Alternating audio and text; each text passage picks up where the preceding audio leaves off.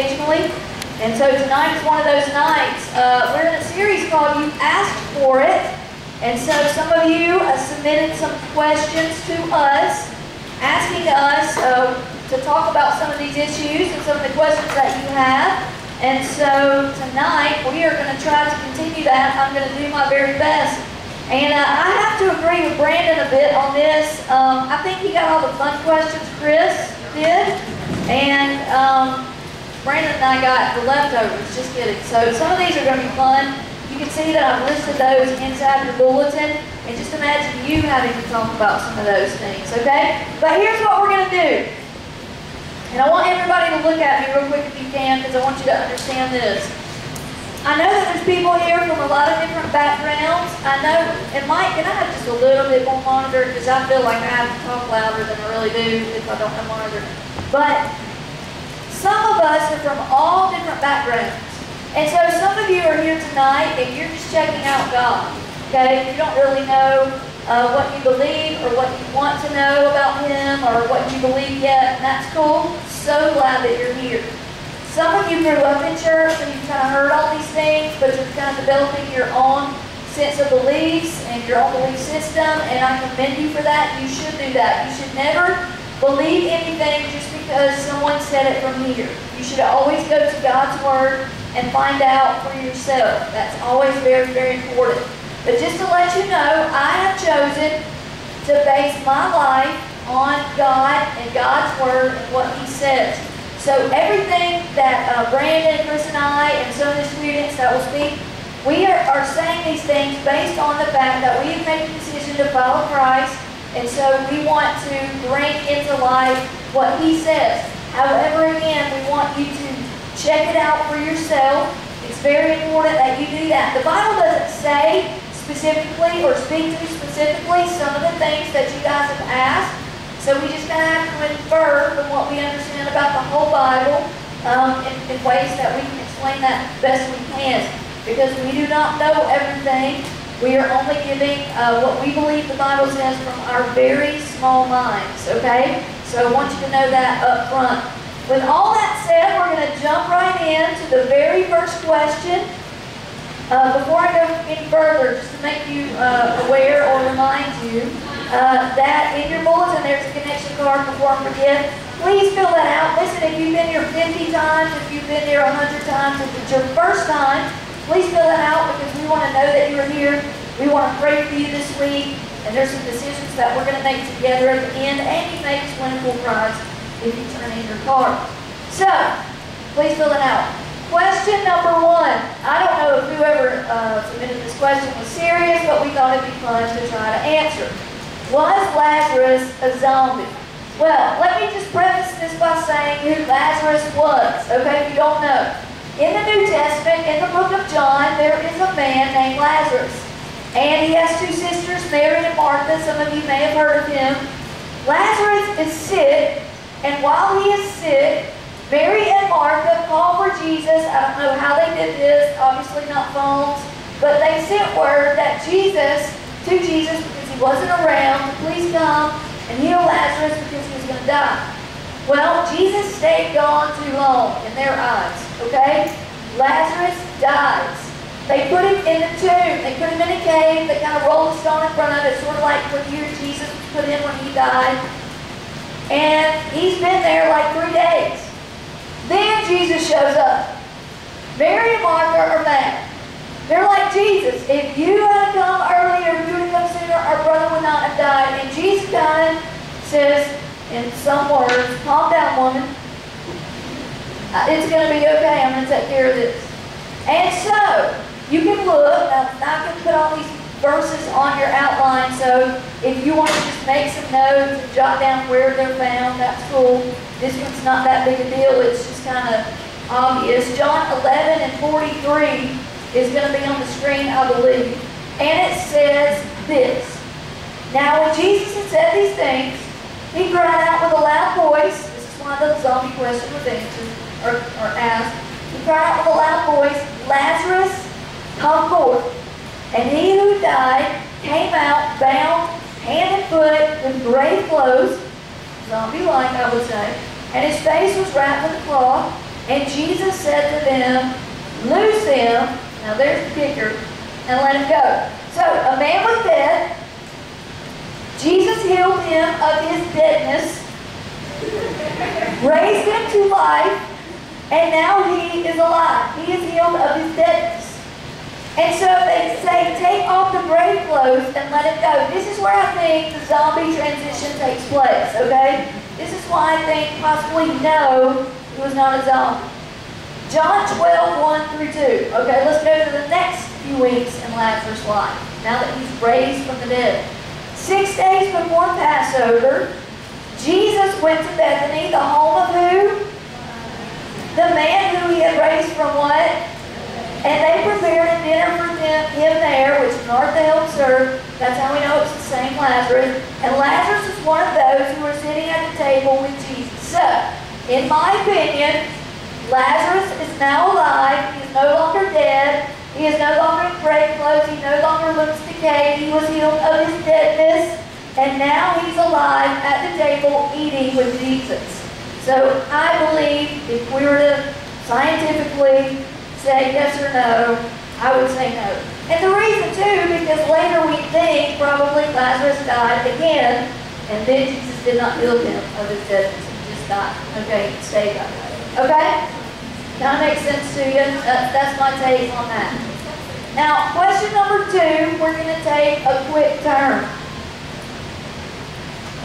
This question, question number two, uh, it breaks my heart. It, this is the question, and this is a, actually a very popular question that you guys ask, either because maybe you or someone you know is dealing with this issue. Is self-harm a sin? Is self-harm sin?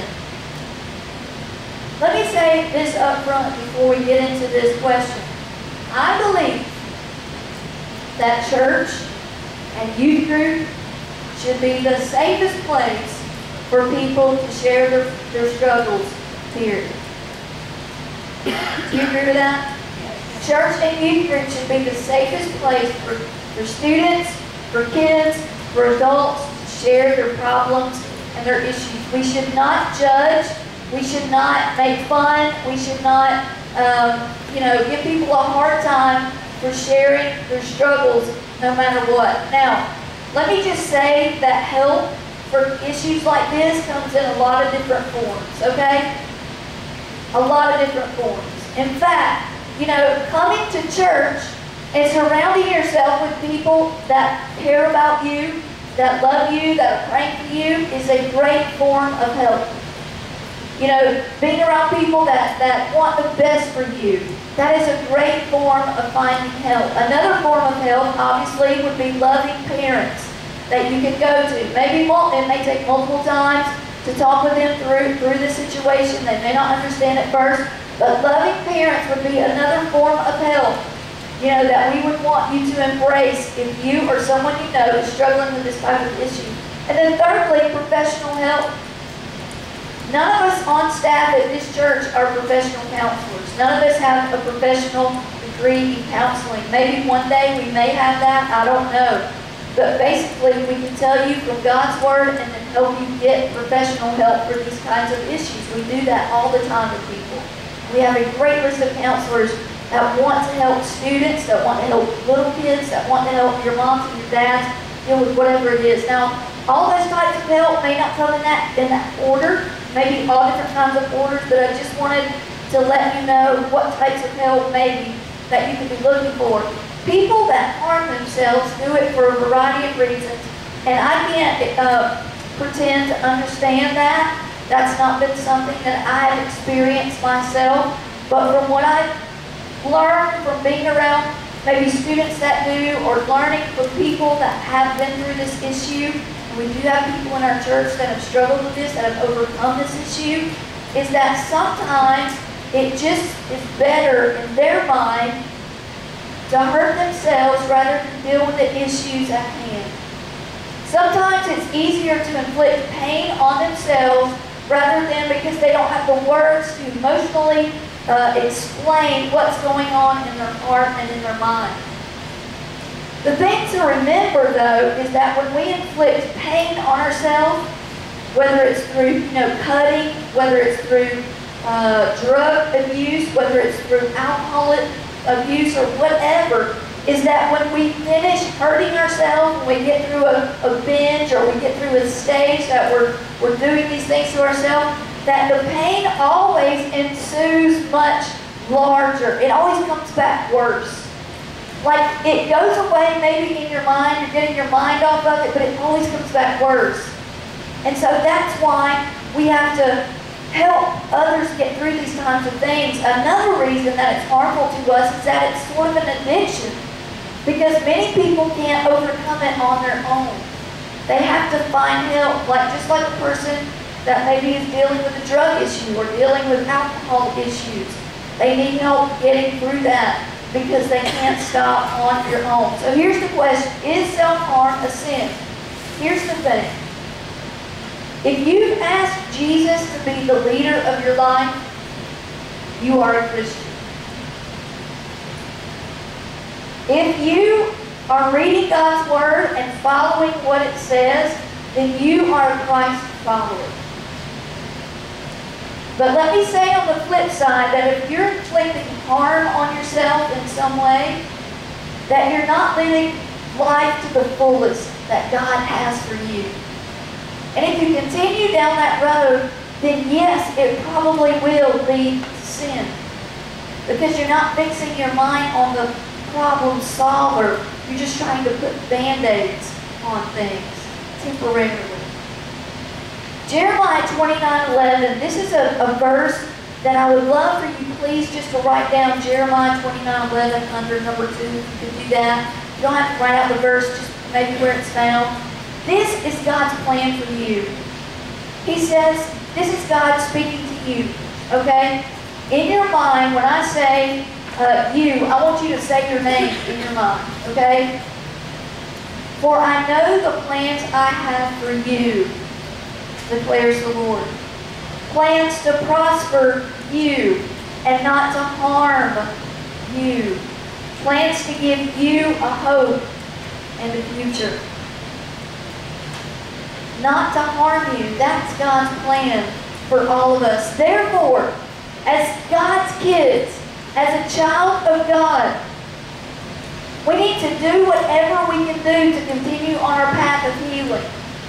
When we're trying to get through problems, when we're trying to get through situations, we need to do whatever we can do. If it takes two counselors, three counselors, ten counselors, before you figure out the one that's right for you. If it takes three conversations, 10 conversations, a 100 conversations with your parents. It's worth it. If it takes going through three, five, ten adults to talk through this till you can get a plan for your healing, that's what God has for you. You have to tell somebody. Let me let me just if you don't get anything else for this point, look at me uh, right now at this. Secrets are bad. Secrets from your parents are worse. Secrets are inside that will kill you if you don't get it out. Pastor Jeff said something all the time, and he says this, you're only as sick as your secrets. If you get it out, then starts the healing process. If you tell someone, then starts the healing process. Secrets are bad, especially when it comes to someone's health, someone's well-being. Secrets are not good. So please, please tell someone, I have a very special friend that's here tonight. Julie Steen, you raise your hand? We love Julie so much. Julie is, her testimony is amazing. Julie, I asked her, could I say this publicly? Julie was a cutter. She would love to talk to anybody that has thought of this, is doing this, you have a friend you know, she would love. Julie, you can talk to Julie about anything. Please talk to someone. If you're a group leader here tonight and you just don't feel qualified to talk about what some people are telling you, some students are telling you, please refer them to someone. Please guide them to someone, to someone in the leadership, to a staff member, whatever. We want to do whatever we can. Why? Because church and youth group should be the safest place for you and your friends to come and share whatever they need to. Safest place. If you believe that, say amen. Amen. All right, number three. Should age in a relationship matter? Okay, I have to admit, just straight up front, okay, Danny it's my hot husband Danny.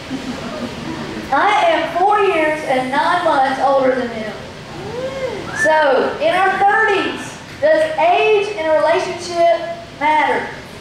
Probably not. You know, he says I'm getting old sometimes, but other than me getting smacked in the head, it doesn't matter.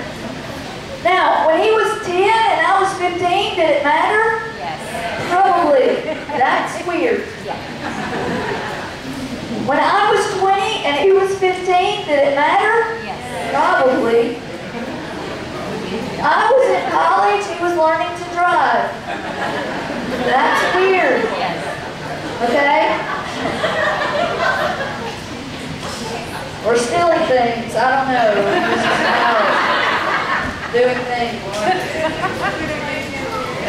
I don't have a lot of scripture about this one, just let me say this up front, okay? Here's the thing. Number one, if your parents are asking you not to date someone, we did a whole message about this, about obeying your parents. Scripture is very clear about this. Exodus 20 and 12 says, Obey your father and your mother. That is just black and white, people. There is nothing I can do about that. Your parents have been to the future. You need to listen to them. You need to honor what they're telling you. And hey, listen, if you, I know you're in love or in deep light, but if you are, which I believe it can happen, hopefully not with a 10-year-old, but I believe that you'll wait, or they'll wait for you, okay? That, it's just that simple. Number two, as far as legal matters go, if you are of legal age and your boyfriend or your girlfriend isn't, people get accused of things every day that they have done or have not done. Either way, a lot of heartache comes with that, okay? Just let me leave it at that. Number three, this is a little extreme, I know, but let's say you're 20 and you marry a 40-year-old, okay? Now, maybe weird to think of right now, however, I've seen it happen. At 20 and 40, you know, I hate to tell you this, I'm approaching that age. And I would, you know, I, I kind of get it at this age. You know, 20, 40, whatever. That might work. But let me just say what might be more difficult is 40 and 60, okay? That 20-year-old, that 40-year-old, one day is going to be 40 and 60. I've seen this twice in my life with two couples. The first couple, 20 years apart, loved each other till his wife passed away at like 70 years of age. I mean, he was like in his late 50s. Just, you would not believe this most coolest relationship ever.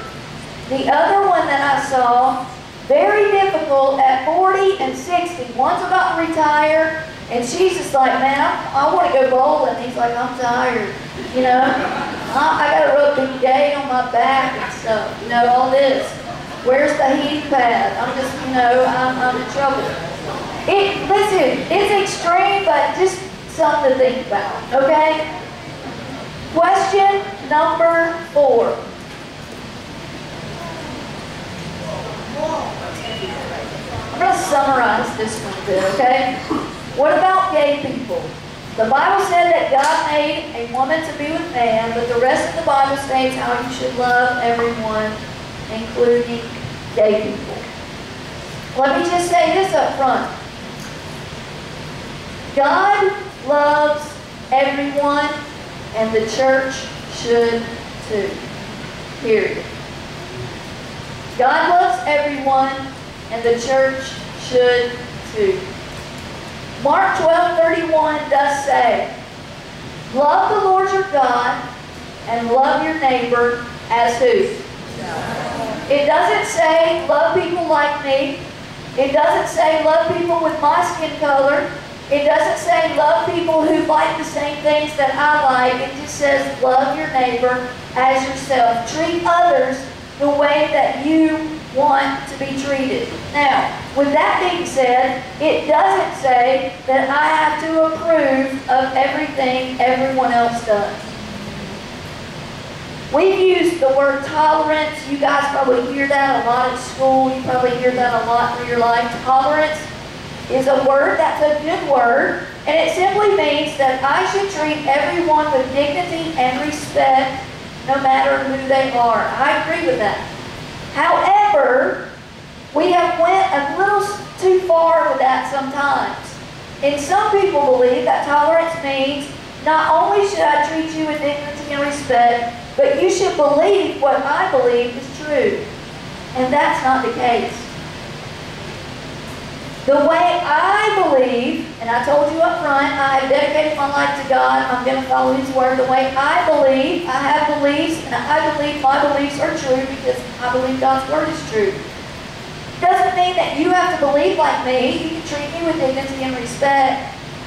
But it doesn't mean that I have to believe like you either. We went a little too far at times with the word tolerance. Now, I know this wasn't really a part of the question, but I want to give you our church, Stockbridge Community Church's stance on what we believe about marriage and relationships. Okay, I think it's up here on the screen.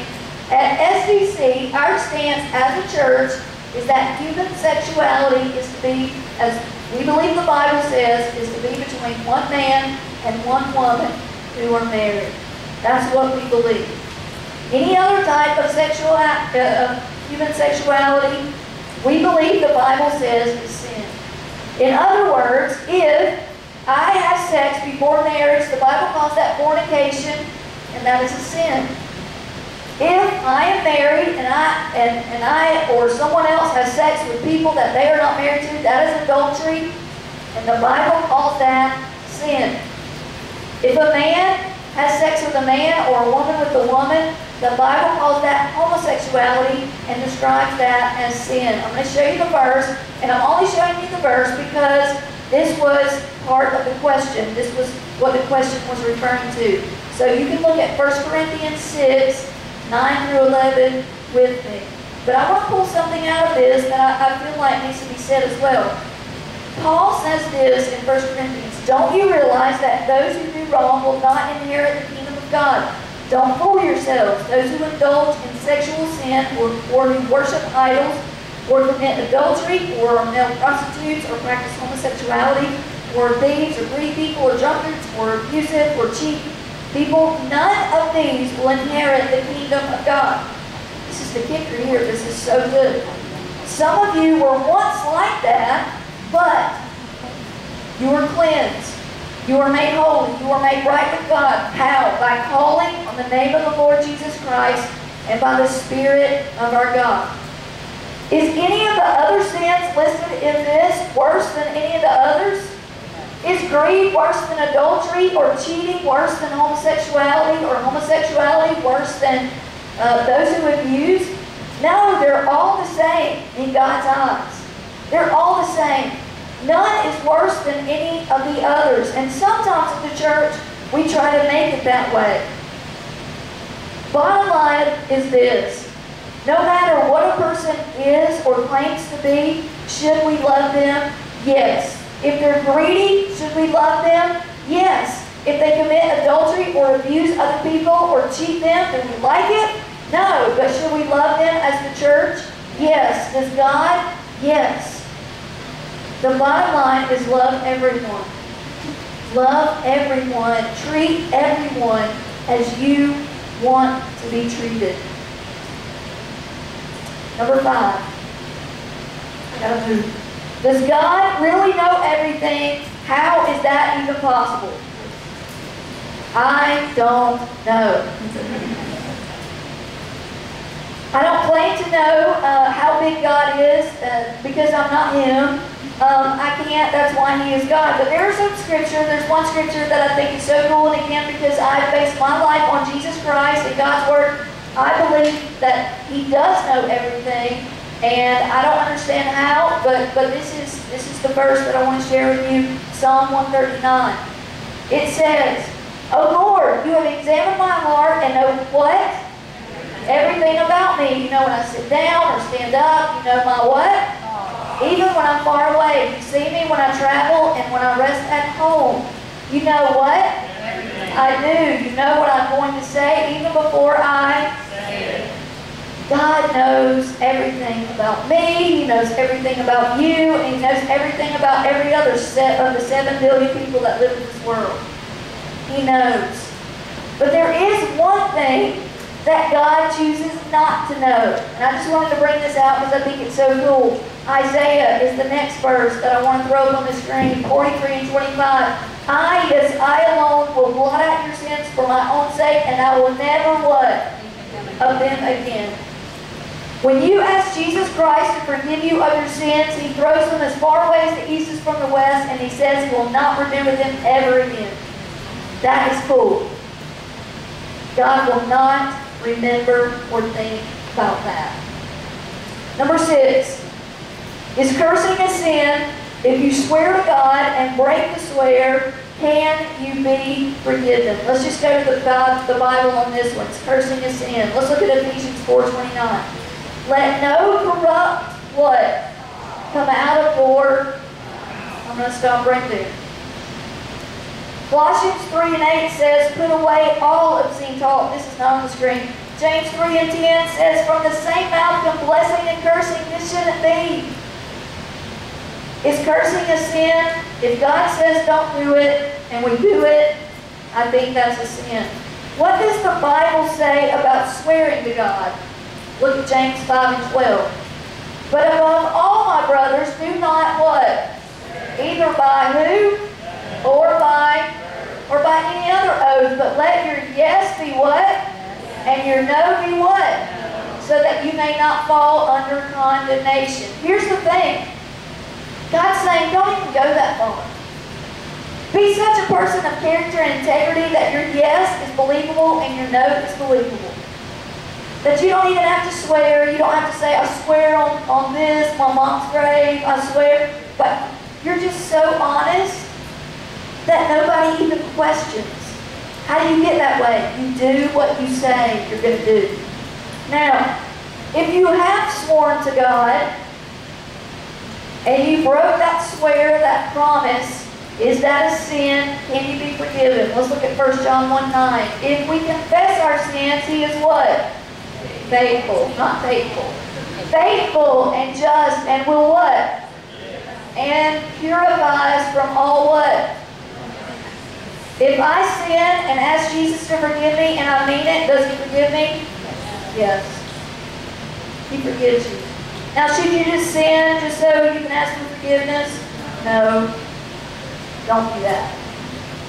Your salvation was bought at a great price. Let's go to question number seven. I'm sorry I'm going over on time. I'm really publicly sorry. Okay. Number seven, do children go to hell? Do children go to hell? Let's look at what Jesus said. I'm just going to sum it up real quick. We were all born into sin, okay? It doesn't mean that when you were born you did sinful things. Obviously you were a baby. But we all inherited a sinful world because Adam and Eve fell. Well, the disciples went to Jesus one day and they said, Jesus, who's the greatest in the kingdom of heaven? And he just, they just knew that Jesus was going to pick one of them. And Jesus said, hey, you kid, come here. And the kid came and stood by Jesus. And Jesus kind of said this in Matthew 18 and 24. He said, I tell you the truth. Unless you change and become like a little kid, you will never enter the kingdom of heaven. Therefore, whoever humbles himself like this child is the what? It's the greatest in the kingdom of heaven. Next, a little while later, the, the parents heard this. They bring their kids to Jesus. The disciples are like, whoa, the crowds are too big, get back. Jesus is tired. Jesus said, whoa, don't, don't stop the little kids from coming to me. He says, For the kingdom of heaven belongs to such as these. Does Jesus love kids? Yes,